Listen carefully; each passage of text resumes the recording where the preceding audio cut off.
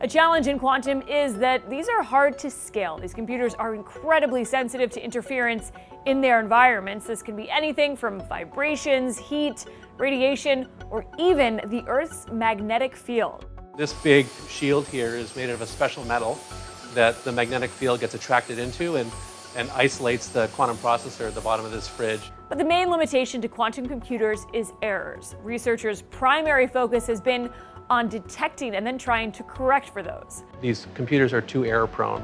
If you can solve the errors within these quantum computers, then you really can make it a practical technology. And we're entering that era now. That's why you're hearing a lot about all of these breakthroughs uh, across the industry. And so that's super exciting. It's a major paradigm shift, but now you've got to make that error correction work even more efficiently. You have to encode the information that it processes in a highly redundant way so that when the errors occur, they don't damage the information that you're trying to protect and process.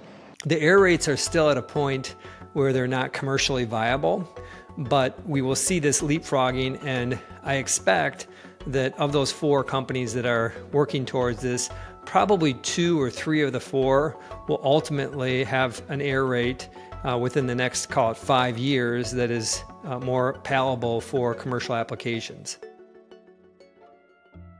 Amazon's first foray into quantum was through the Amazon Braket service, which gave developers access to quantum computers from other companies such as IonQ and Rigetti Computing. But after mostly watching from the sidelines, Amazon decided to start investing in its own technology.